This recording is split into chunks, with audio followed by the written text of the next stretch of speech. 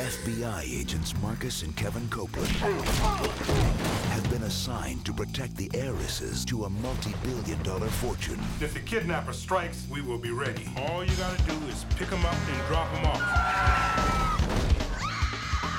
Now, You don't actually think we're gonna go to the Hamptons looking like this? to catch their kidnappers, One more screw up and me and you are through. You know them girls ain't gonna be there? Oh, they'll be there. they'll have to do the unthinkable. What's up, money? You got a problem?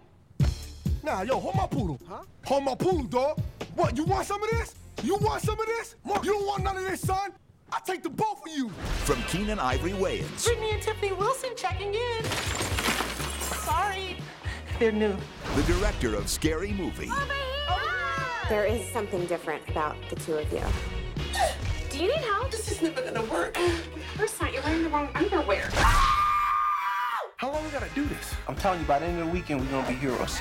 He's got my gun and badge. Go. they're boldly going where no black man has gone before. I don't see why I gotta go out with Mandingo. Because if you don't, you're gonna blow our cover. But that don't mean I gotta go out with Buffy the White Girl Slayer. I totally am captivated by your beauty. Oh my god, is that a hangnail? Wait, gotta get in there and just suck that right out.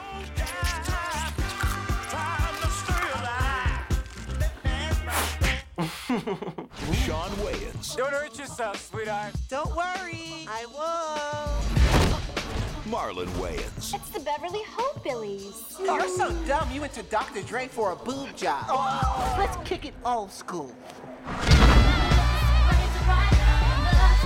I think you might have been black in a previous life.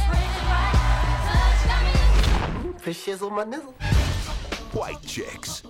This is our jam, ladies. This is our jam. Making my way downtown, walking fast, faces pass, and I'm homebound. Take a tip and break. Cause you know I'm gonna take the bus and down in mine. Oh, she's a station.